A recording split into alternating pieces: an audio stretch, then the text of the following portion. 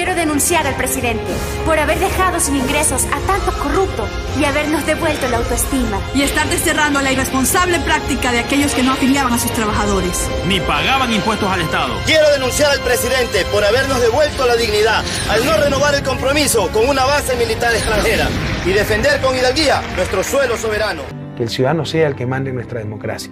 Para eso hay que hacer cambios profundos, reformar la ley de elecciones, reformar la ley de partidos, democratizar los, e independizar los tribunales y reformar el Congreso Nacional. Eh, yo, que durante muchos años fui crítico del gobierno de Correa, hoy coincido en varias cosas con su pensamiento y con su eh, norte. Una de ellas es, por ejemplo, que él ha sido víctima de una persecución tenaz, en donde no se han respetado el debido proceso, en donde no se ha considerado eh, los derechos que él tiene como ciudadano y donde se han conseguido sentencias, a mi juicio, políticas y no jurídicas, en donde sin tener prueba alguna ha sido condenado. Por eso yo tengo que revelarme, porque como masón que soy y como libre pensador, debo yo defender la justicia.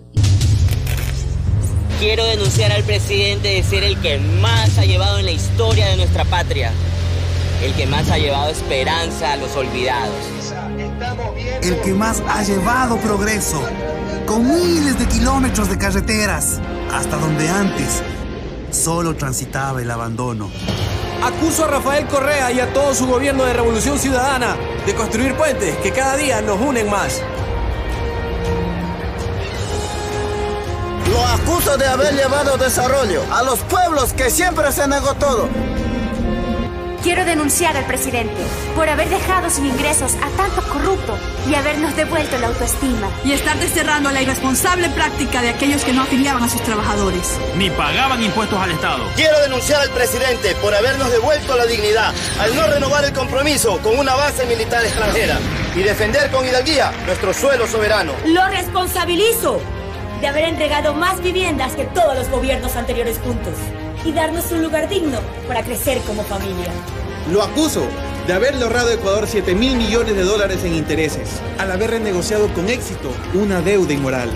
Y haber hecho historia ante el mundo como un país que con valentía enfrenta las ilegítimas presiones internacionales. Yo quiero acusar a nuestro mandatario de ser el responsable de que la mujer haya por fin conseguido un espacio equitativo en los procesos electorales. Y quiero acusarlo con total seguridad de que estamos recibiendo lo que los ecuatorianos nos merecemos, una seguridad social de primer nivel. Presidente, a la distancia lo denuncio de ser el único mandatario que volvió a visibilizar a los migrantes, devolviéndonos el derecho de elegir. Y ser elegidos, devolviéndonos también la esperanza. De regresar a nuestra patria. Es hora de denunciar al presidente por hacer realidad tantos sueños por crear esperanza, por fabricar futuro. Yo quiero señalar al presidente como responsable de que nuestra minería y petróleo sean nuevamente nuestras y hayan recuperado su verdadero valor. Valor que ahora sí sirve para devolver con justicia en obra a las comunidades que siempre estuvieron abandonadas. Lo acuso de luchar por los derechos de la naturaleza, llevando a Ecuador a ser líder mundial en conservación. Un país que ama la vida. Quiero señalarle por habernos devuelto la dignidad y los derechos de las trabajadoras domésticas. Terminando con las injustas prácticas de explotación laboral que no todos compartíamos. Lo acuso de estar curando al más grave de todos los enfermos, el sistema de salud del país devolviendo lo más esencial para el ser humano. El ser tratado precisamente como humano. Le responsabilizo de robarnos del miedo, al no usar el 30S como escudo y más bien ser usted el escudo para defender la democracia. Presidente, los ecuatorianos sí queremos ser informados con frecuencia.